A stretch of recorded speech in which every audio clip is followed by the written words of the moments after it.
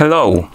In front of me I have Xiaomi Watch S1 active and I'm gonna show you how to install applications on this watch.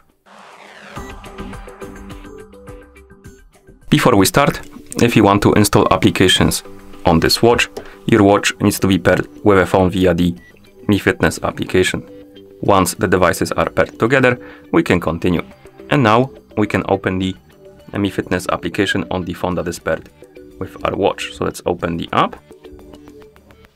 After you open the application, you should see the health page. Now tap on the device icon to open the device page.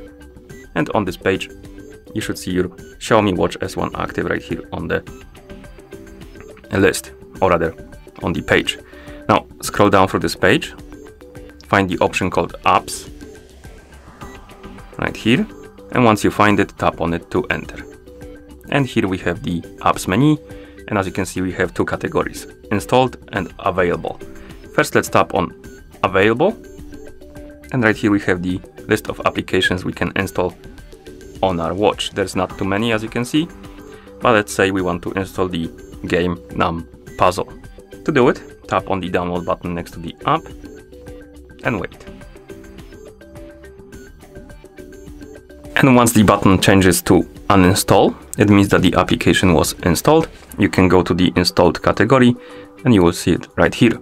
Of course, if you wake up the screen on your watch by pressing the home button, then press the home button again to open the menu, you will see the icon of the app right here at the bottom of the menu and you can tap on it to open the app and we can use it as you can see. Okay, let's close the app and app on the phone and that's how you install applications on this watch. Thank you for watching. If you found this video helpful, please consider subscribing to our channel and leaving the like on the video.